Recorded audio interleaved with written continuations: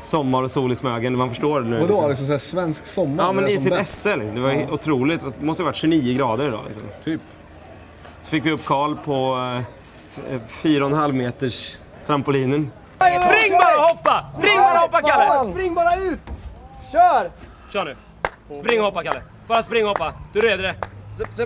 Det händer ingenting. Du kan det där Kalle. Alltså, det här är det värsta jag varit med om. Det är faktiskt det värsta jag gjort i mitt liv. Man får ju lägga till att du är terrified, alltså av eh, fullständigt vettskrämd av höjden.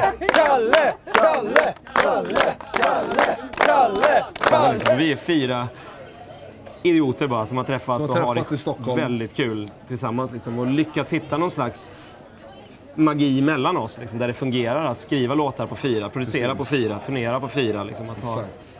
någon slags demokrati i det liksom, och Precis. ge varandra utrymme. Ursäkta?